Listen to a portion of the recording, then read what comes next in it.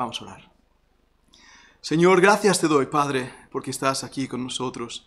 Señor, gracias por aquellos que no solamente están presentes, sino que nos sostienen orando, orando que Dios me use en la predicación. Que Señor, tu gracia y tu misericordia me sostenga también para compartir con mis hermanos. Gracias Señor porque eres tú el que nos sostiene y sabemos Padre en que nuestra roca está firme, nuestro fundamento es inamovible. Y hoy Señor, como hemos cantado, sabemos que tú vendrás y puede ser que sea hoy. No hemos creído en una mentira, no hemos creído en un falso Dios, hemos creído en la verdad, una verdad preciosa revelada a través de la Escritura. Y por eso, Padre, hoy al entrar en el terreno del enemigo, te pido que tu sangre bendita y preciosa nos proteja, nos guarde del maligno, nos guarde de sus maquinaciones. Y Señor, veamos realmente cómo Él ya ha sido derrotado. Quieras tú, Padre, hacerlo, te lo suplico, en el bendito y glorioso nombre de tu Hijo, el Señor Jesucristo. Amén. Vamos a Apocalipsis capítulo 12 y voy a seguir leyendo, son versículos que ya he leído anteriormente, pero hoy me voy a centrar en dos básicamente, desde el versículo 7 hasta el versículo 12. Apocalipsis 12, 7 al 12. Dice así la palabra del Señor. Después hubo una gran batalla en el cielo. Miguel y sus ángeles luchaban contra el dragón y luchaban el dragón y sus ángeles. Pero no prevalecieron ni se halló ya lugar para ellos en el cielo.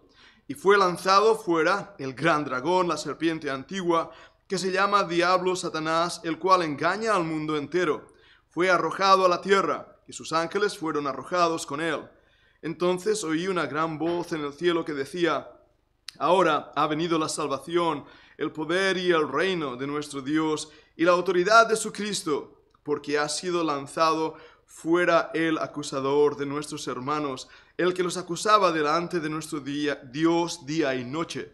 Y ellos le han vencido por medio de la sangre del cordero y de la palabra del testimonio de ellos, y menospreciaron sus vidas hasta la muerte.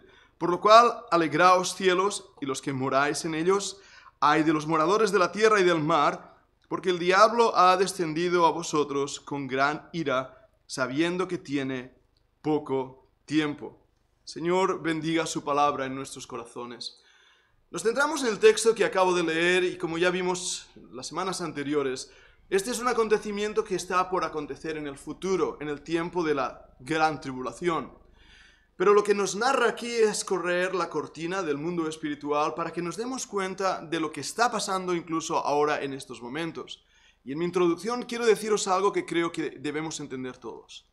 El mundo espiritual es tan real y palpable como el mismo mundo físico.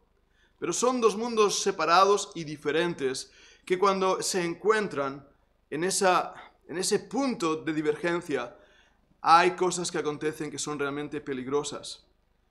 No temo al mundo espiritual, pero siempre he pedido al Señor que me guarde de abrir puertas de entrar en ese mundo, porque ese mundo es poderoso, es un mundo peligroso para nosotros, criaturas creadas por la gracia de Dios en otra dimensión, en el mundo físico. También quiero decir, antes de seguir avanzando en esta introducción, que las batallas que acontecen en el mundo espiritual son muy poderosas, muy fuertes. La que he leído acontecerá en el futuro. Pero ahora mismo ya están aconteciendo batallas espirituales. En el libro de Daniel hablamos de algunas de esas batallas y vemos la importancia de entender que Dios está controlando los eventos del mundo. Dios no ha perdido la batalla, pero que hay un mundo espiritual real.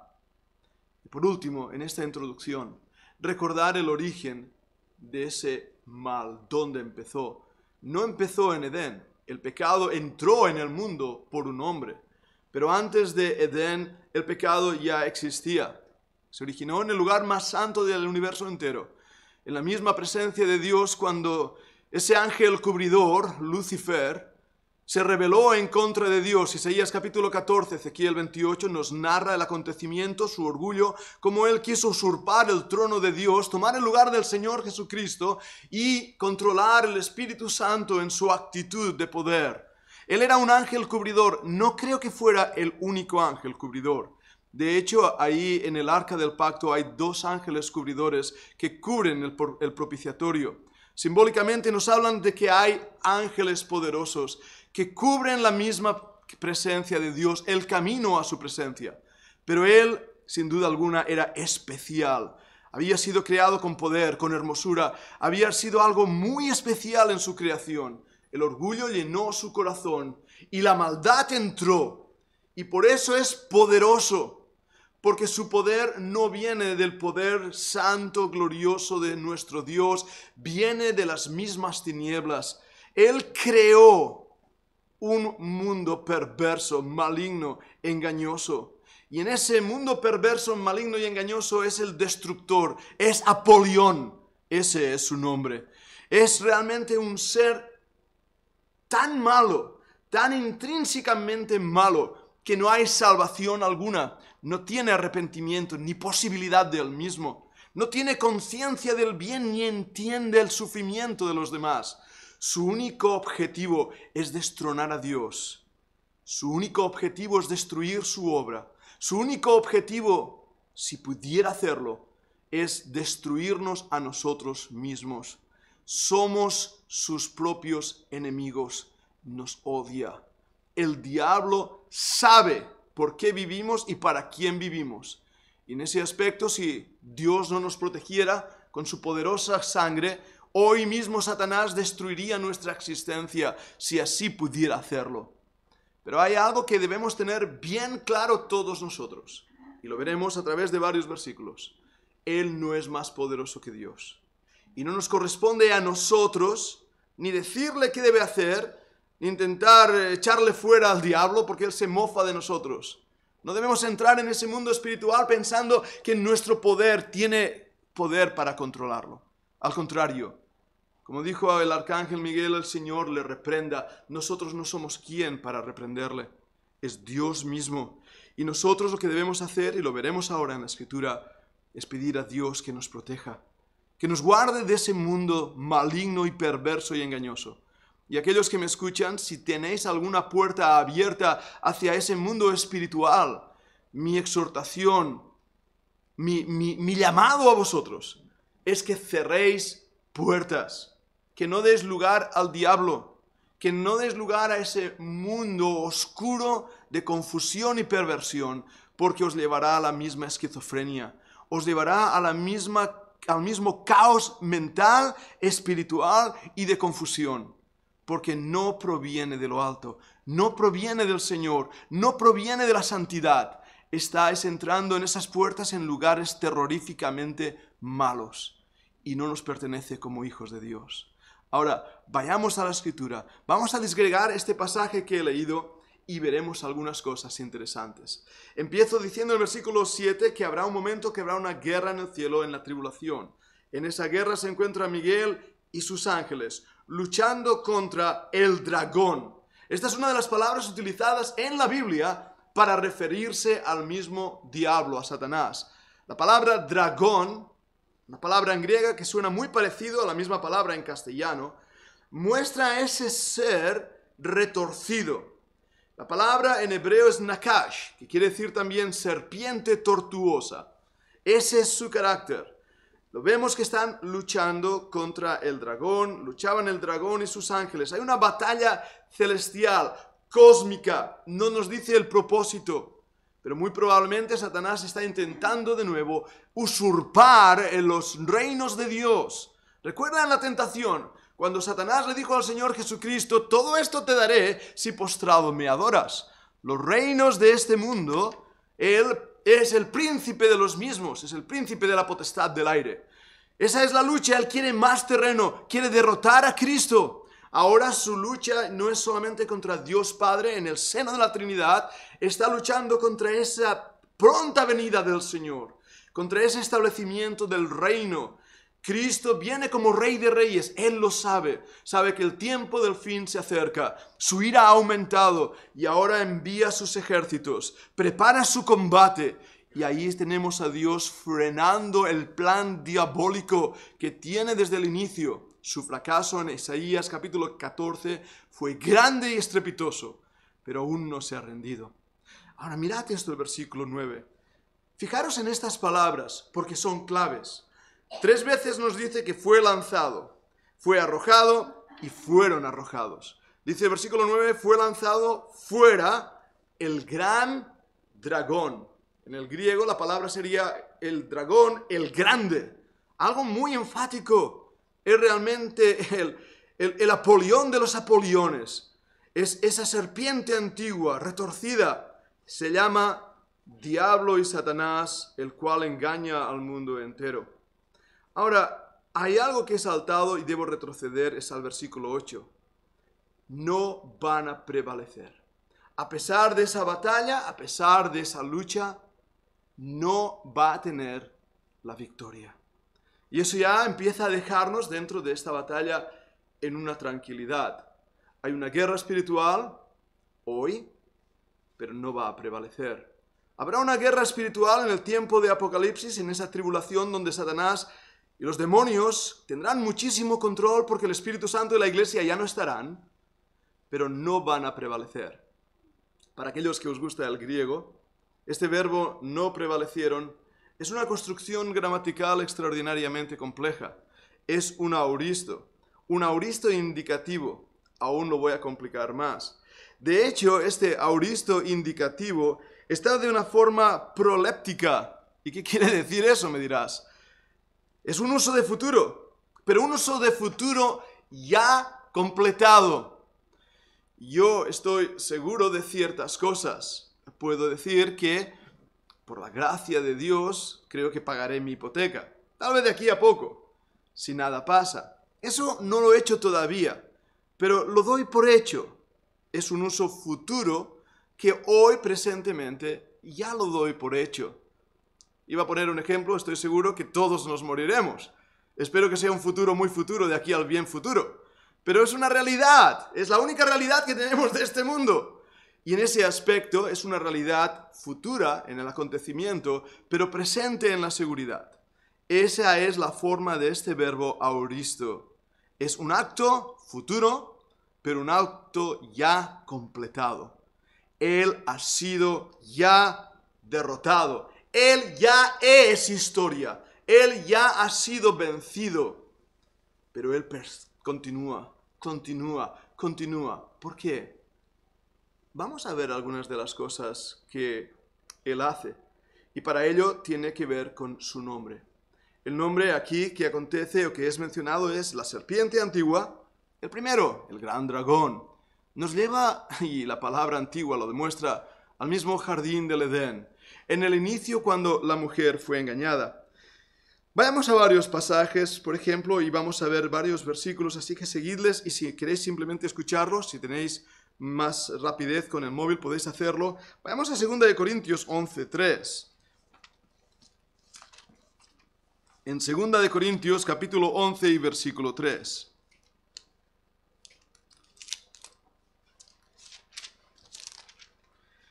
Dice, pero temo que como la serpiente con su astucia engañó a Eva, vuestros sentidos sean de alguna manera extraviados de la sincera fidelidad a Cristo.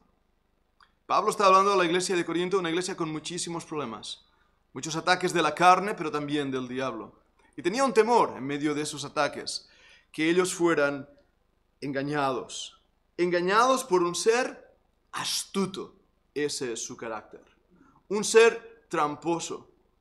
Ahora, Eva fue engañada. Adán sabía bien lo que hacía.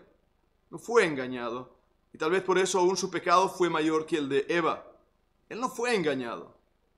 Él voluntariamente aceptó el bocado amargo y putrefacto del diablo. Y he recordado eso a la iglesia en Corinto, esa serpiente antigua. Y fijaros esas palabras, tengo temor que vuestros sentidos sean de alguna manera extraviados de la sincera fidelidad a Cristo. La serpiente antigua, el diablo, el que se opone, lo primero que hace es robar de nuestros corazones la sincera fidelidad a Cristo.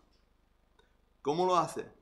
Poniendo duda en su palabra, Así que Dios ha dicho, ¿de verdad ha dicho Dios? No, Dios sabe que el día que de Él comiere serán abiertos vuestros ojos y seréis como dioses. Dios no os ama, Dios os ha engañado, Dios nos ha dicho la verdad. Y así en esas palabras de mentira y engaño, Eva mordió aquella fruta y el hombre sigue mordiéndola, poniendo dudas sobre el amor de Dios y su justicia y misericordia el diablo, la serpiente antigua. Vayamos a Efesios capítulo 6, versículo 11. Efesios 6, 11. Una vez más, disculpadme que vamos a estar viendo varios versículos, pero es necesario que escuchéis la palabra de Dios, no, no a mí, sino la misma palabra, el libro eterno. Efesios 6, versículo 11. Vestidos de toda la armadura de Dios para que podáis estar firmes contra las acechanzas del diablo. Firmes. El diablo siempre os atacará por la espalda. Tenéis que tener visión periférica. Tenéis que saber sus movimientos. Tenéis que saber que en cualquier esquina podéis encontrarle y no os atacará de frente. Él es engañoso. Vayamos a 2 Timoteo 2 y versículo 26. 2 Timoteo 2, 26.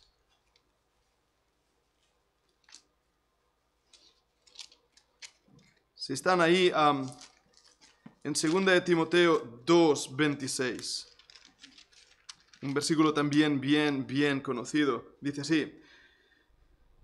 Ah, voy a leer desde el 25, que con mansedumbre corrija a los que se oponen, por si quizá Dios les conceda que se arrepientan para conocer la verdad y escapen del lazo del diablo en que están cautivos a voluntad de Él a voluntad de Él. El engaño, el error doctrinal, el problema de que están atados.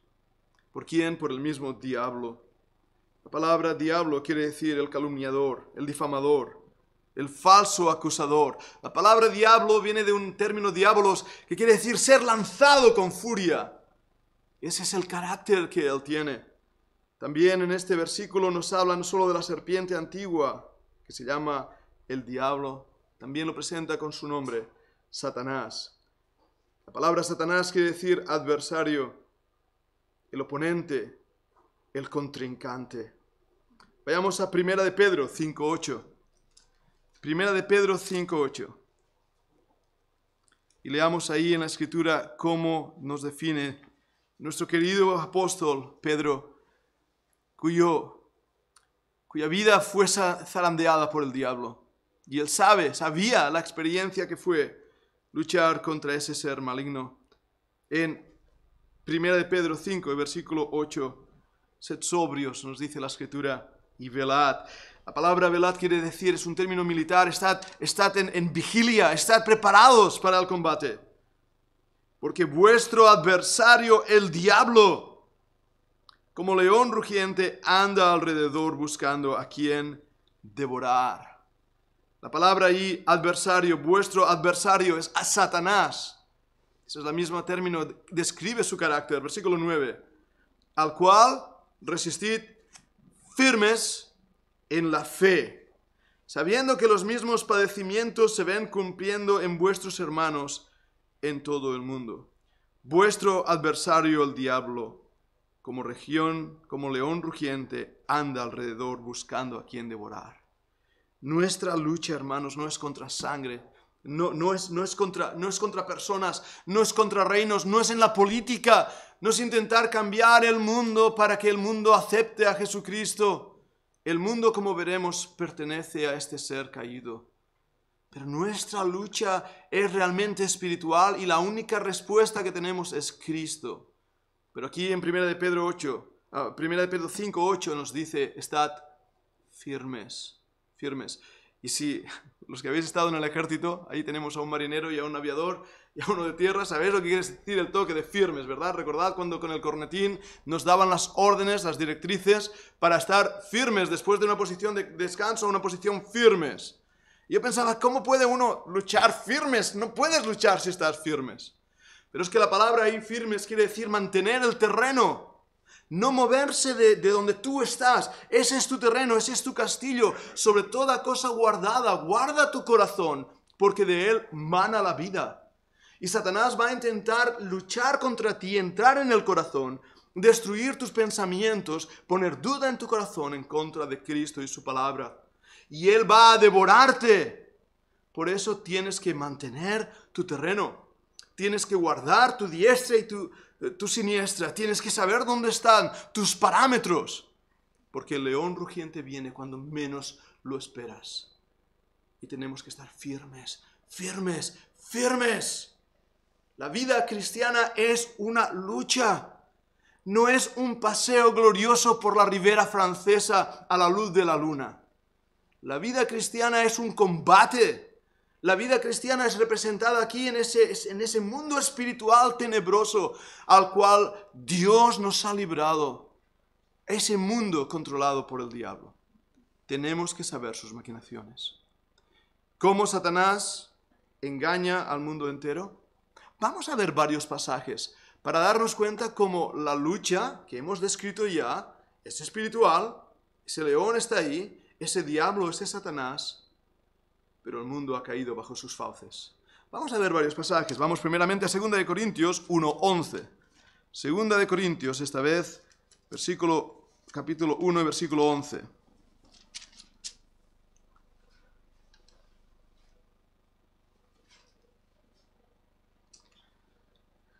Segunda de Corintios 1.11, espero haberlo apuntado bien. Ah,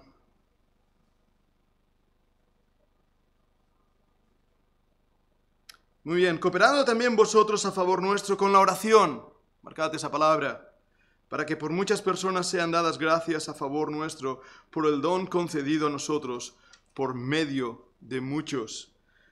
La importancia de la oración en Corintios. Vayamos también ahora dirigiéndonos a capítulo 11 y versículo 3.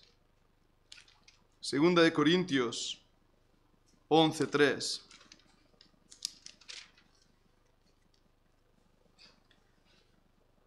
Voy a leerlo desde el primer versículo para entrar en ese contexto. Ojalá me toleraseis un poco mi locura, así toleradme, porque os celo con celo de Dios, pues os he desposado con un solo esposo para que presentaros como una virgen pura a Cristo. Pero temo que como la serpiente con su astucia engañó a Eva, vuestros sentidos sean de alguna manera extraviados de la sincera fidelidad a Cristo. Porque si viniere alguno predicando a otro Jesús que el que os habéis, os hemos predicado, o si recibís otro espíritu que el que habéis recibido, u otro evangelio que el que habéis aceptado, bien lo toleráis. Pablo vuelca a esa iglesia en la oración y les dice, tened cuidado del diablo porque os puede engañar, Dios tiene celo de vosotros, os va a proteger, pero no escuchéis a otro evangelio, a otro Cristo, a otra salvación. Satanás engaña a este mundo entero haciendo creer otro evangelio, otro Cristo, haciendo creer otro mensaje, poniendo dudas sobre las palabras de Dios. Pero no es lo único que hace. Sigamos aprendiendo y vayamos esta vez a 2 de Timoteo 2:24. Vamos a leer 2 de Timoteo 2:24.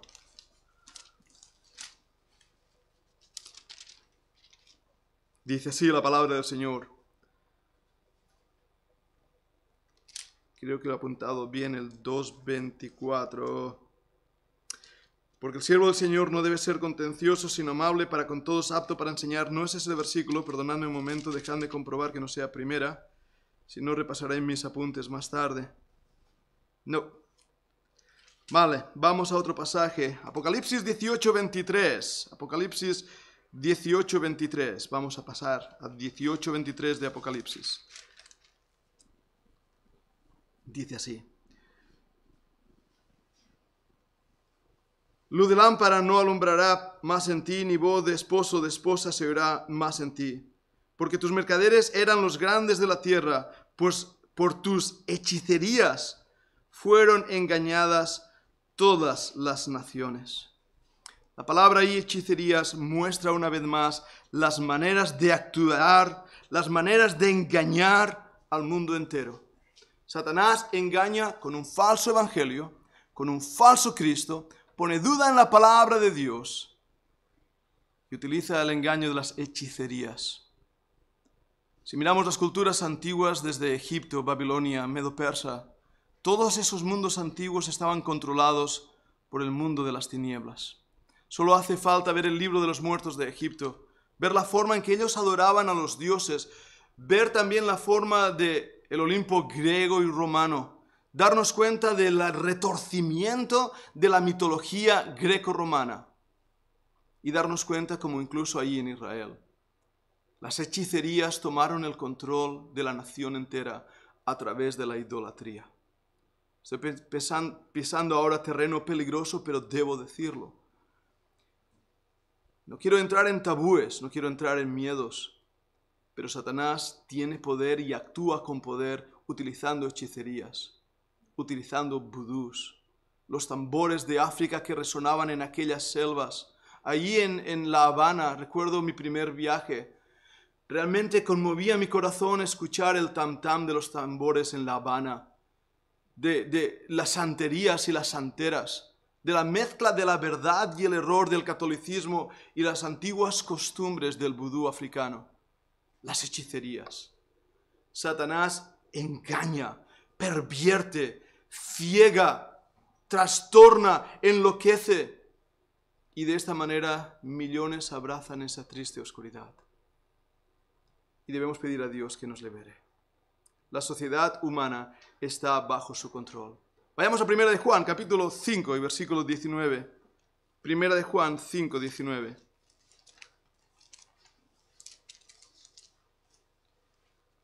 Primera de Juan, capítulo 5 y versículo 19. Dice así, sabemos que somos de Dios y el mundo entero está bajo el maligno. El mundo entero está bajo el maligno. Qué palabras tan fuertes. Qué palabras tan fuertes. Luego le echan la culpa a Dios de las guerras, las hambres, las muertes injustas, la crueldad. El mundo ha sacado a Dios de cualquier lugar. Sacaron los diez mandamientos de las escuelas en Estados Unidos. Nadie puede hablar allí ya de religión. También aquí en España. Han sacado a Dios de la sociedad, de las familias. Han sacado a Dios de cualquier idea que pueda ser presentada en los medios de comunicación, en las películas. Para el mundo, Dios no existe. Y Dios parece decir, está bien, no queréis un mundo sin mí, aquí lo tenéis. El maligno es quien reina. Dios no es el culpable de las mortandades, la ira, las hambres, las destrucciones. Dios no es culpable, es el reino de las tinieblas. Ahora esto en cuanto al mundo, y no quiero entrar en muchos otros detalles, no quiero en este mensaje, pero creo que ya nos es suficiente para darnos cuenta de la oscuridad de su reino, de su control sobre la mente y los corazones de aquellos que le siguen y le sirven. Pero ¿qué de nosotros? Os he dicho que hay una batalla. Vayamos a ver algunos pasajes más para entender cómo el creyente debe luchar en esa batalla. Os invito a que abramos la escritura en 2 de Corintios, espero tener bien estas citas, 2.11. Fijaros que hemos repetido ya varias veces este versículo, en 2 de Corintios también, 2.11. 2 de Corintios, capítulo 2, versículo 11. Para que Satanás no gane ventaja alguna sobre nosotros, pues no ignoramos sus maquinaciones. Es claro el versículo, pero ¿qué debemos hacer? He leído el versículo 11. Bien, vamos a intentar ir al versículo 10 para que veamos qué quiere decir para que Satanás no gane. Versículo 10. Y al que vosotros perdonáis, yo también. Porque también yo lo que he perdonado, si alguno he perdonado por vosotros, lo he hecho en presencia de Cristo para que Satanás no gane ventaja alguna sobre nosotros. ¿Lo veis ahora lo que está diciendo el versículo? Es muy claro. Cuando no perdonamos, Satanás tiene ventaja sobre nosotros. La amargura y la falta de perdón destruye al creyente. Cuando tú no perdonas a alguien que te ha dañado, Satanás tiene ventaja sobre ti. Por eso todo rencor, toda ira, debe ser arrancado de nuestros corazones como la misma mala hierba que ahoga la verdad. Si hay algo que debas perdonar, perdona. Satanás entonces se quedará sin aliado para destruirte. Porque creo que en muchísimas iglesias la falta de perdón ahoga la vida espiritual de esa iglesia. Y pensamos que el mundo de las tinieblas tiene que ver con espíritus endemoniados y ahí tenemos a los carismáticos, ¿verdad? Echando espíritus de demonios por todos sitios, menos en su propio corazón continúa reinando la rabia, continúa reinando la falta de perdón y están siendo distraídos por un bote de humo que no les, hace, no les hace ver la realidad de dónde se encuentra el combate. No hay demonios en estos bancos, no hay demonios en estas sillas, no hay demonios en esta ciudad o en estas paredes. Hay demonios en el corazón de una persona que no ha sido capaz de perdonar. Y como creyentes, amados míos, tenemos que saber esto. Una de las maneras que Satanás nos tumba en la batalla, nos hace la trabanqueta para que caigamos, nos destruye, es a través de la falta de perdón. Pero hay más, hay mucho más. Vayamos a otro pasaje, esta vez en Primera de Timoteo, en Segunda de Corintios, perdóname, he saltado el 2.11, vayamos al 12.7. Segunda de Corintios 12.7.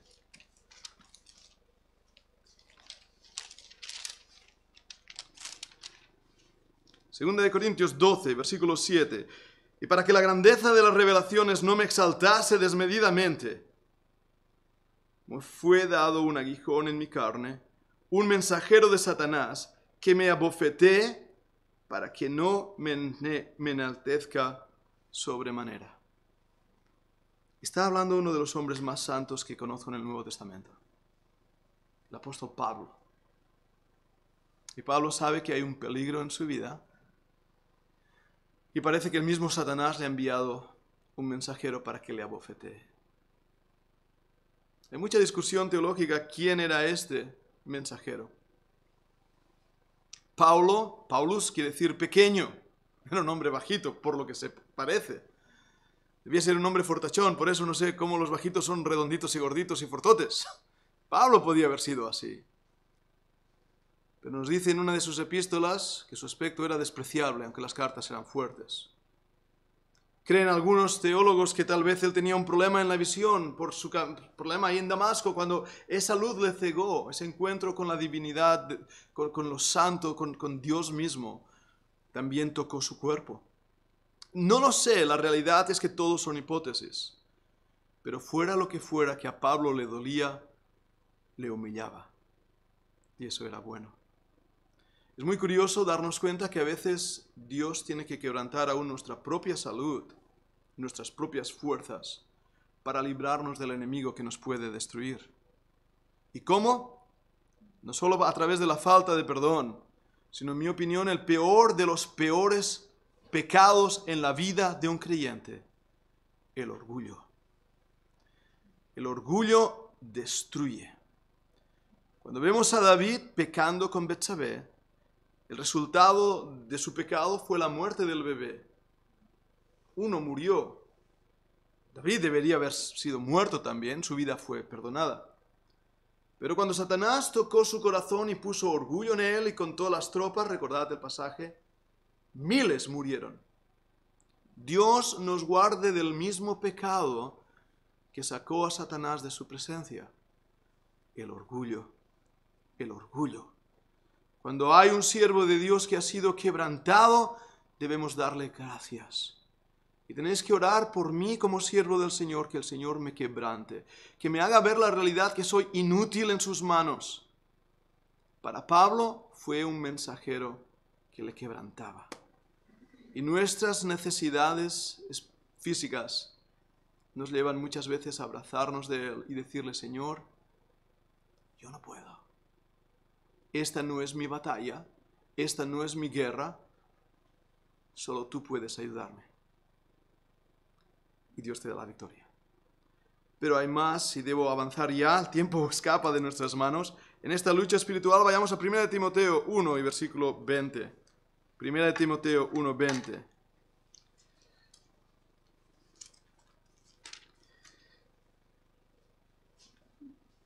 Primera de Timoteo, perdonad que lea yo todos los versículos, os hubiera pedido a vosotros, pero así el micro también lo recoge y los hermanos que están siguiéndonos a través de YouTube pueden también escucharlo. En Primera de Timoteo 1, versículo 20, dice así, de los cuales son Himineo y Alejandro, a quienes entregué a Satanás para que aprendan a no blasfemar. Uf, qué palabras manteniendo la fe y la buena conciencia, desechando lo cual naufragaron en cuanto a la fe algunos, de los cuales son Himineo y Alejandro.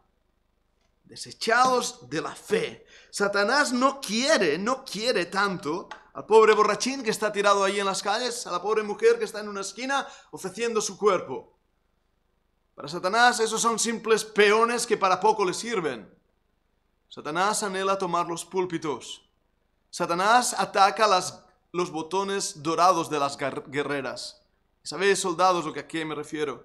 Cuando nuestro ah, traje de ejército teníamos que limpiar y limpiar esos botones de color de oro para que relucieran. Satanás quiere los púlpitos para que la palabra no sea predicada con poder, sino el espíritu de error llene esos púlpitos. En el neocristianismo que estamos viviendo, estamos viviendo un cristianismo como el de Emineo y Alejandro, una falsa cristiandad, un falso cristianismo, con doctrinas como para de crecer, o para de, sufrir, ¿qué digo de crecer? Para de sufrir. Habéis escuchado esa, doctrina, ¿verdad? Como esas ideas donde tú pones, vas a un hombre ungido y pone su mano sobre ti y te tumba. No sé si es por la presión de grupo, la presión psicológica o por los mismos espíritus del diablo que están ahí para hacer eso. Pero os aseguro delante del Señor que esto no es doctrina de Dios, es doctrina de demonios. Y esos locales, por no llamarlas iglesias, se llenan de confusión, de personas que anhelan lo mismo que tiene ese predicador, un reloj de oro y un Rolls Royce a la puerta esperándole, sino un avión particular para poder trasladarse a cualquier sitio. Estos son doctrinas de demonios, falsos evangelios, falsos cristos. Pero hay más. Vayamos esta vez a Efesios 4, 27. Efesios 4, 27.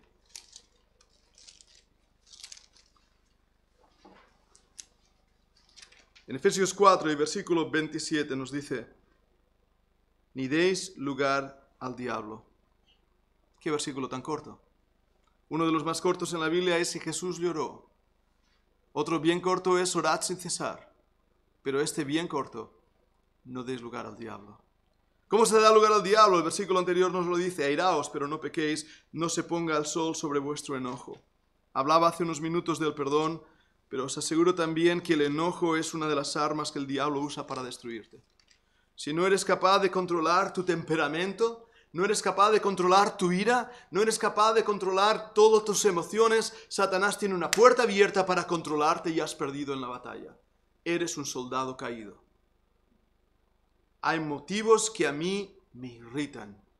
Cuando veo al inocente sufrir por culpa de alguien que lo maltrata, me irrito. Cuando veo las injusticias de este mundo, me irrito. Cuando veo que hay acontecimientos que pasan y yo no puedo controlar, me irrito. Todos lo hacemos, ¿verdad que sí? Pero no des lugar a la ira. No des lugar a la ira. Airaos, pero no pequéis.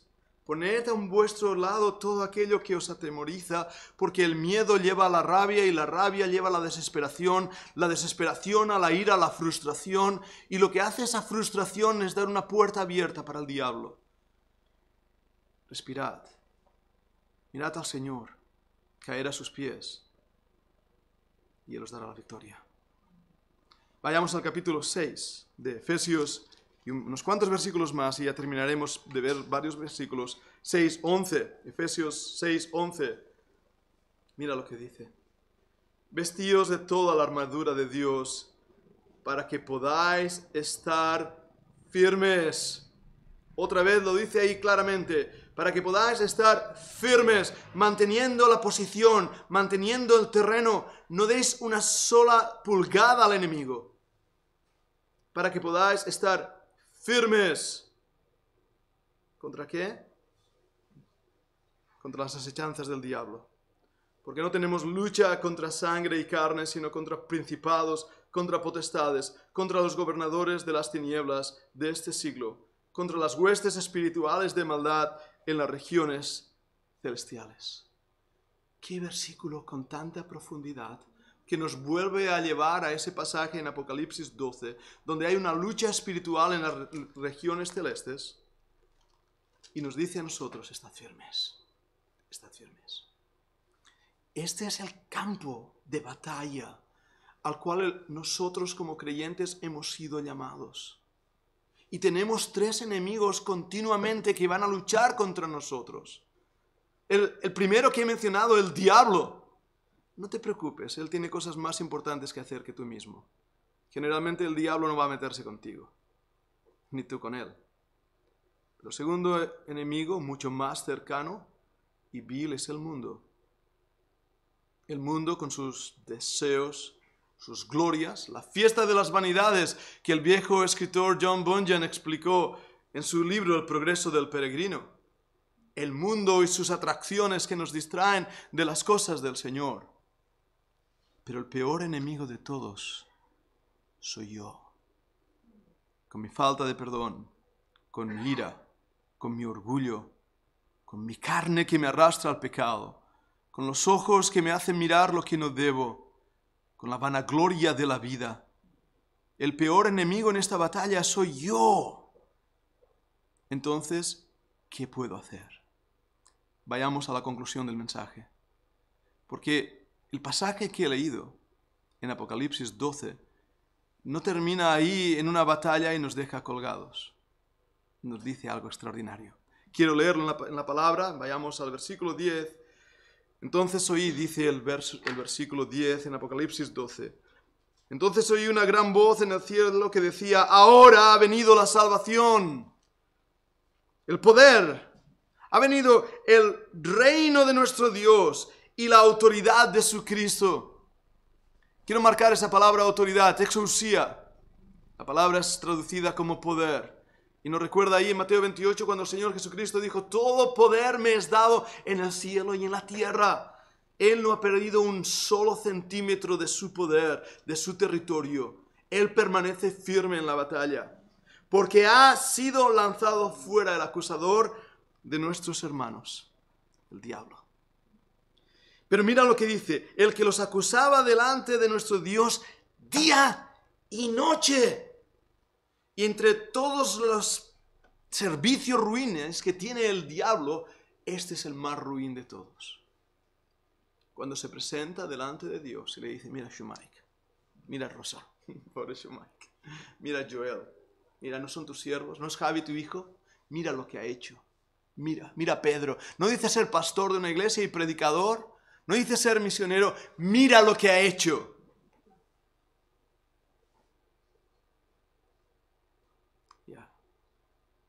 tiene toda la razón. Es el acusador de los hermanos. Día y noche no cesa. Pero hay una solución gloriosa. Primera de Juan, capítulo 2, versículo 1 al 2. Primera de Juan 2, 1 al 2.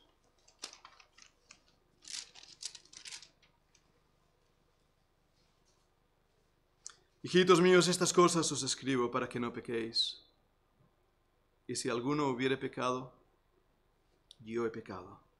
Si Pedro hubiera pecado, abogado tenemos para con el Padre, a Jesucristo el justo. Y Él es la propiciación, la cobertura, la limpieza por nuestros pecados, y no solamente por los nuestros, sino también por las de todo el mundo si alguno hubiere pecado, abogado tenemos para con el Padre. Cuando Satanás entra en la presencia de Dios diciendo, mira a tu hijo lo que ha hecho, sus impúdicos labios son cerrados con la sangre del cordero. El juez toma el martillo en su mano y golpea fuertemente la mesa. El juicio ha sido realizado. Este hombre, esta mujer, está limpio en la sangre del cordero. Tus acusaciones son nulas, sordas. No tengo oídos para escuchar esas acusaciones, porque mi Hijo ha cubierto con su bendita sangre todos sus pecados. Acusa lo que quieras, Satanás. Estoy libre, estoy libre. Y por eso el siguiente versículo dice, y ellos, es decir, aquellos que han puesto en el Señor su confianza, que han creído en Él, lo han vencido. Lo han vencido. Satanás ya ha sido derrotado. Su cabeza ha sido pisada. Génesis nos recuerda en ese protoevangelio que aunque el, calcañar de, de, de Cristo fue herido por mis pecados, con su muerte él pisó su cabeza. Fue su derrota. Lo echaron de la presencia de Dios. Pero aquella cruz gloriosa en el Gólgota fue el fin del diablo. Toda esperanza quedó nula para él porque aquellos que han abrazado al Cordero le han vencido. ¿Qué nos separará del amor de Cristo? nos dice Romanos 8. Tribulación, angustia, persecución, hambre, desnudez. ¿Nos separará tal vez el diablo, sus acusaciones, la carne, el orgullo? ¿Nos separará el pecado? Dejadme deciros, aquellos que habéis puesto en Dios vuestra confianza, nada, ni nadie puede apartarnos del amor de Cristo, y menos el diablo ya ha sido vencido. Ya ha sido vencido. Ellos le han vencido por medio de la sangre del cordero y de la palabra del testimonio de ellos y menospreciaron sus vidas hasta la muerte. Para mí el vivir es Cristo y el morir ganancia. Yo ya he muerto. Yo he sido crucificado con Cristo, estoy juntamente crucificado y vivo no ya yo, mas vivo Cristo en mí. Y el diablo y sus maquinaciones van a intentar, como león rugiente, devorarme. Pero estoy vestido con la armadura de Dios, estoy lavado en la sangre del Cordero, estoy protegido por aquel que me, me amó y se entregó a sí mismo por mí. Y de esta manera puedo andar por este mundo sabiendo que el príncipe de la potestad del aire está intentando traicionarme en cualquier esquina. Y voy a velar, y voy a mantener mi terreno, y voy a estar firme en mi fe, y voy a escuchar las palabras del general en jefe diciéndome cómo debo entrar en batalla. Pero estoy seguro que ya he vencido. Estoy tranquilo y sé cuál es el fin de mi enemigo. El libro de Apocalipsis nos lo narra. Os lo adelanto, aunque ya lo veremos. Un día él será atado por mil años, desatado por un poco de tiempo, y luego será echado al infierno para toda la eternidad. Él lo sabe. Él lo sabe. Y sabe que nada puede hacer contra los hijos de Dios. Tenemos un ángel a cada lado de, nuestro, de nuestra esquina pero tenemos la sangre del Cordero que nos cubre. No entres en el terreno del enemigo. Hoy lo hemos hecho. Hemos visto sus maquinaciones, hemos visto su trato. Pero recordad, amados míos, tenemos la victoria. No temáis. Vamos a orar.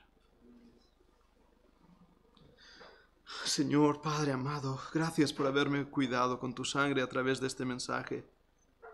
Padre, el enemigo está cerca y sé, Señor, que está rabioso. Pero Padre, tú nos proteges, tú nos ayudas, tú nos cuidas. Y así te lo pido, Padre, que cuides a tus hijos amados del maligno y de sus maquinaciones. No dejes que el desánimo, el desaliento, el desasosiego tome el lugar del gozo de la cruz y el poder de la cruz. No dejes, Señor, que el pongan ideas extrañas en nuestras cabezas y nos haga dudar de tu palabra. No deje, Señor, que el, pecado y la carne y el mundo nos arrastre. Oh Padre, vístenos de toda tu armadura. Señor, vístenos, ayúdanos a tomar la espada en nuestras manos, a mantener la saga en nuestro costado. Señor, ayúdanos a tener ese yelmo de salvación, esa cota de justicia, ese cinto de verdad, esas preciosas calzas del Evangelio, Señor. Ayúdanos a estar firmes y luchar, Padre. Luchar hasta el final, hasta nuestra misma muerte si es necesario, sin dar una sola pulgada al enemigo. Danos esa gracia, Padre, porque tú, tú, Señor, nos has dado la victoria. Ahí en Apocalipsis hemos leído ya desde hace semanas, al que venciere, al que venciere, al que venciere, al que venciere. Y ahora llegamos aquí a, capítulo 12 y leemos, lo ha hecho más que vencedores, lo han vencido por medio a través de la sangre del Cordero. Gracias Padre amado. Gracias por tu victoria. Gracias por esa cruz. Gracias por ese poder. Gracias Padre porque tú eres nuestro Dios, tú eres nuestro Señor, tú eres nuestro Adonai, tú eres nuestro todo, Padre. Gracias por habernos amado desde antes de la fundación del mundo. Gracias, Padre. En el nombre de Jesucristo. Amén. Señor os bendiga, hermanos.